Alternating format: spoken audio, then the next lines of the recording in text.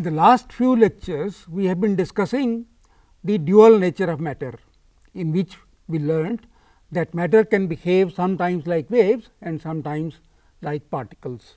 In particular, we found electrons can behave like waves. If they can do, then can we have electron microscope?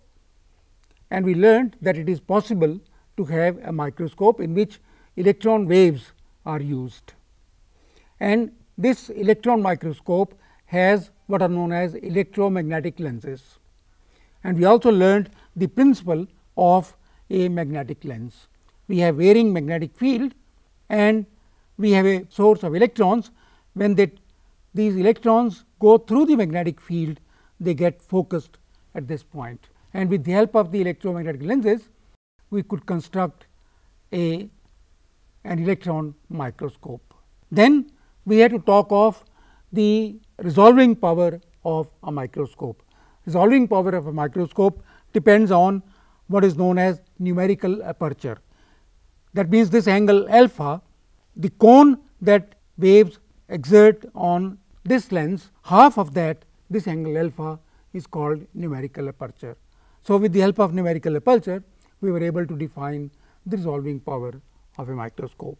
Now, in the next few lectures, we intend to take up the topic of atomic nucleus. The discovery of atomic nucleus follows the discovery of electrons by Thomson. You remember the cathode rays, Thomson analyzed cathode rays and found that these are actually electrons, negatively charged particles. And since these are parts of all matter, the he thought that the atom therefore, would consist of electrons and positive charges mixed, so that the overall charge of the atom is nil. That means, the overall atom is neutral and because of its shape like this, because of its appearance, this came to be known as the plum pudding model. The important thing is that in this atom the electrons and positive charges they are mixed uniformly. So, that the atom as a whole is neutral. Now, if it is a plum pudding model then Rutherford reasoned that since the electric field inside is quite weak, you see the field of electrons and protons is cancelled. Therefore, the field inside is quite weak and therefore, Rutherford thought that if I shoot a beam of alpha rays on a target say a gold foil, then because the electrons are the atoms are neutral and the electric field inside the atoms is weak. Therefore, all these alpha particles will go through with very little deflection. A few of them would be deflected by very small angles. That is what he thought but when he performed this experiment that is he shot alpha rays on a metal foil, he found to his surprise that not only the alpha rays, some of alpha rays suffered large deflections, some of them, them were even reflected backwards. So, that gave him the idea that the atom is mostly vacuum, mostly empty. So, that most of the alpha rays can go through it. At the center of the atom he thought there must be a part which has all the mass and all the charge of the atom. That is why because this charge is concentrated that is why the alpha rays some of the alpha rays suffered very large deflections. Some of them even got are sent back. So, after this he proposed his own model of the atom. What was that model? That model was before that let us let us see that model was the we have learned that earlier that like the solar system that we have the positive charge inside at the center of the atom this center is known as nucleus and electrons go around it. Now, here uh, I must point out again we have been doing this occasionally to bring you the glimpses into the working of science. As explained already, each new model or theory must make predictions which can be tested experimentally. This I have told you earlier also that each theory, new theory or new model must have must make predictions which can be checked experimentally. And if those predictions are found to be correct, then the theory is accepted, otherwise it is rejected or modified. The important thing is that the scientists do not attach their prestige to their theories. However, important or well known the scientist may be, the proposed theory must stand the test of experimental verification. If the experimental verification fails, then the theory is rejected, however important that scientist may be. Rutherford's own model, Rutherford remember during that time was an extremely important and well known scientist and his own model of the atom had to be rejected because it was found unstable, whereas observations say that atom is stable. So, even Rutherford at that time one of the most prestigious scientists, his theory had to be rejected. The observations showed clearly that the electrical charge must be concentrated at the center of the atom. So, that a very strong electric field there could deflect alpha rays by large angles. Most of the atom of course, is empty, most of the alpha rays go through, but those which pass near the center of the atom which carries the charge, they get deflected by large angles. At the center of the atom however, there must be a region of high density which accounted for the mass of the atom. Not only this region has the charge, this region called nucleus also has the mass of the atom and around the nucleus were orbiting clouds of electrons. But what was the nature of the nucleus apart from the fact that it contained the whole mass and charge of the atom. Rutherford decided to investigate this matter by shooting alpha particles on lighter nuclei like lithium, beryllium, boron, carbon etc. He found that when he shot alpha particles on the nitrogen nuclei, hydrogen nuclei were emitted by them. You see you have nitrogen and you shoot alpha particles on the nitrogen particles, you found that the nuclei of hydrogen atoms were emitted. He concluded and correctly that the hydrogen nuclei came from inside the nitrogen nuclei. He called the hydrogen nuclei as protons. So, we have a we have nitrogen target alpha particles are shot and then protons come out that is what he found. Since the atom had to be neutral the proton had to carry exactly the same charge as electron you know electron and proton carry exactly the same charge. Why? Because otherwise the atom would not be neutral. So, you have proton say in hydrogen atom there is one electron. So, the charge of the two must be exactly equal and opposite. So, that hydrogen atom as a whole is neutral. So, it was found that the, the mass of the nucleus which carries the positive charge, mass of the nucleus is about 2000 times the mass of the electron. So, what picture do we have now? We have an atom which is mostly empty. At the center of the atom is nucleus which carries positive charge and around this nucleus are electrons which are orbiting around this nucleus. That is the picture of the atom we have got. But what is nucleus? What are its constituents? That became then a very important question. Rutherford suggested that all nuclei consisted of protons. However, there was a problem. What was the problem? The next atom next to hydrogen, helium has the mass equal to 4 times the mass of hydrogen. That means, there must be 4 protons or must be particles which have the mass of 4 protons, but the atom of helium carries only 2 electrons. So, how do you make the atom, nu atom neutral?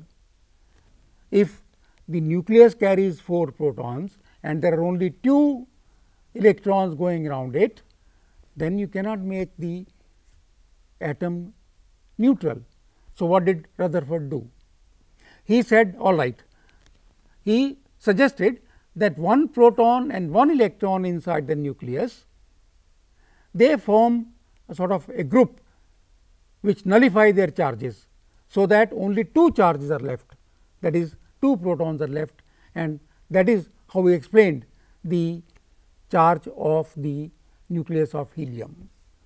However, the, this created another problem. What was that? How could electrons exist inside the nucleus? Let us see whether they can or cannot. De Broglie principle says that each particle of momentum p has a wave associated with it, the wavelength being given by lambda equal to h by p. This relation is now familiar to you, de Broglie principle. So, lambda is h by p. The reason why we do not appreciate the wavelength associated with ordinary objects is that the wavelength is extremely small. You remember the exercise that we carried, we had a cricket ball moving with a speed of 150 kilometers per hour, we found its wavelength is extremely small. So, you can't appreciate it. Now, if the electron exists inside the nucleus, then its wavelength at most could be equal to the diameter of the atom. And if we assume the diameter of the atom to be 6.6 into 10 to the power minus 15 meters that is 6.6 Fermis, then the wavelength of the electron which is equal to the diameter of the nucleus would be 6.6 Fermis. If that is the wavelength, we can find the momentum from the de Broglie principle. And we find that the momentum is equal to 10 to the power minus 19 kilogram meter per second. And from this momentum, we can find the energy. You know the formula for the energy of the electron is the square root of p squared c square plus m c squared whole square, which is effectively equal to p c in fact. So, from this momentum, we can find the energy of the electron and you can see this energy is a few hundred MeV. And if we did this exercise with protons, their energy would be only a few MeV. The energy of the electron is a few hundred MeV and this energy is large, very large compared with the energy involved in nuclear processes. I mean nuclear nuclei emit particles and energy, but that energy is much smaller than the energy that we have calculated for the electron. There is another argument. If the electron exists on the surface of the nucleus, then its potential energy would be minus 1 by 4 pi epsilon 0 q 1 q 2 by r, where r is the now radius of the nucleus and we can calculate this and we find that this energy is 10 to the power minus 13 joules. Now, this energy we found earlier 3 10 to the power minus 11 joules is much larger than the energy for the electron at the surface of the nucleus. This means what? This means that the nucleus cannot hold electron inside it. Electron energy is much higher than the energy of the electron on the surface of the nucleus. That means, the, the potential barrier for the electron to escape is much smaller than its own energy and therefore, it can escape. So, electrons cannot exist inside the nucleus. So, if electrons cannot exist inside nucleus, what do we do? There is another argument based on what is known as Heisenberg's uncertainty principle, which we shall study uh, uh, in a, few more slides down the line, we shall study this uh, argument. Here the uncertainty principle says that the product of the uncertainty in the location of an object and uncertainty in its momentum, the product of these two is equal to h cross. That is the uncertainty in the momentum is equal to h cross by delta x. Delta x is the uncertainty in the location in the position of the particle that is delta x times delta p is equal to h cross. h cross you remember is h by 2 pi where h is Planck's constant. So, this uncertainty principle also told us that the electrons cannot exist inside the nucleus. So, now what happens to the the um, the argument suggested by Rutherford that one electron and one proton can form a pair which is neutral. If electrons cannot exist, this obviously cannot happen. One of the important objections to the existence of electrons inside the nucleus was the uncertainty principle of Heisenberg. This uncertainty principle says that the uncertainty in the momentum of a particle multiplied by the uncertainty in the position of a particle their product is equal to h cross where h cross is h by 2 pi and h is Planck's constant. That is the uncertainty in momentum of the particle delta p is h cross by delta x. Now, the it was this uncertainty principle which disallowed the existence of electrons in the in the nucleus. For the time being, let us for the time being let us um, stop or interrupt this story of the nucleus. Let us pay attention to the uncertainty principle, which is a very important principle of physics. In 1927, Heisenberg was working on the implications of the new dis discovered discipline of quantum mechanics. You remember quantum mechanics came into existence only uh, in the early 20th century. Bohr's model was 1908 or something and that is the said to be the beginning of quantum mechanics. Anyway, so this was a new subject and it was being developed very fast in fact and Heisenberg was one of the um, scientists who was doing this work. And during this work he found that he discovered in fact that the momentum and position of a particle cannot be known precisely at the same time. That is, if you know precisely or very little uncertainty the position of the particle, then its momentum is highly uncertain. On the other hand, if you know the momentum uh, with little uncertainty, then its position becomes highly uncertain. That is what he discovered and he said this is not due to any limitation of the experimenter or the equipment or any shortcoming in the technique. He said this is inherent to quantum mechanics. However, precise the experiments may be, however well versed the scientist may be doing the experiment, how whatever the techniques uh, he applies, he said the uncertainty does not depend on that. Uncertainty is inherent inherent to quantum mechanics. How can we explain this? You remember I we discussed this earlier that a particle when it moves has associated with it a wave a group of waves as shown here again as the particle moves it moves along with the group of waves. Now, the particle can be anywhere in this group of waves and we also found that if a particle has larger velocity then the group of waves has a smaller extent. So, let us try to explain the uncertainty principle on this picture that a particle has a wave associated with it or a wave group of waves associated with it. So, I, I show you once again this particle along with the wave group. This wave group consists of several waves I have just shown 4, but it consists of several waves. All these waves combine to form this wave group and the particle is somewhere inside this wave group. So, therefore, one can say that the extent of this wave group is the uncertainty in the position of the particle that is delta x.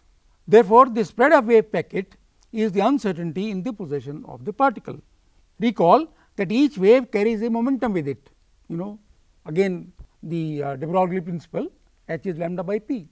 So, uh, lambda is h by p. So, each wave has momentum associated with it. Now, let us see what happens. Suppose we wish to reduce the uncertainty in the position of the particle. Let us say we want to reduce this uncertainty. How can we do that? By making this group have a small spread by reducing the spread of this wave group. If we do that, then we need larger number of waves to constitute this group and larger number of waves means larger uncertainty in momentum. So, as we restrict the uncertainty in the position, the uncertainty in the momentum becomes large. Let us do the opposite now. Let us try to restrict the uncertainty in momentum and see what happens to the uncertainty in the position. In the extreme case, let us have only one wave, so that we know its momentum precisely. So, if we have just one wave, then what is the uncertainty in the position? Uncertainty in the position becomes infinite, because this wave is infinite. So, if we try to reduce momentum, the uncertainty in momentum, we have large uncertainty in position. On the other hand, if we try to restrict the uncertainty in position, we have large number of waves to constitute this group and therefore, larger uncertainty in the in the momentum of the particle. So, you can see that you cannot reduce delta x to 0, because if you do that then delta p becomes infinite. You cannot reduce delta p to 0, because delta x becomes infinite. That means, it is not possible at the same time to know precisely the position and momentum of a particle. This is the Heisenberg's principle of uncertainty. Thus, whatever we do, the uncertainties in both variables position and momentum cannot be simultaneously removed. According to Heisenberg, the product of the two uncertainties is given by delta x times delta p equal to h cross. Let me warn you, some books say that delta x by delta p is equal to h cross by 2. Nothing wrong with that, because delta x by delta p is actually the upper limit on the is the uh, upper limit in fact h cross let us say put the other way around h cross is the lower limit on the product delta x delta p. So, it does not matter whether this lower limit is h or h by 2 it does not matter, but some books say delta x into delta p is h cross some books would say delta x into delta p is h cross by 2. So, you be aware of that. So, that when you have to solve numerical problems you must be aware what you are doing. The position and momentum variables are called complementarity pair in quantum mechanics. Another such pair is energy and time. So, that delta E times delta t that is uncertainty in energy multiplied by uncertainty in time that is also equal to h cross. It was thought earlier in fact, Heisenberg himself seems to suggest so that the process of measurement of say the position of a particle disturbs the system and therefore, the there is uncertainty in the momentum. Now, new experiments have shown in very recent times in the last 10 15 years, the experiments have shown that even very delicate experiments where when you measure the position of the particle, you do not disturb the particle at all or disturb it extremely little. Even then there is uncertainty in the momentum of the particle. So, one must conclude that this uncertainty is inherent to quantum mechanics. It cannot be even very delicate experiments cannot reduce delta x and delta p at the same time cannot determine position and momentum precisely at the same time.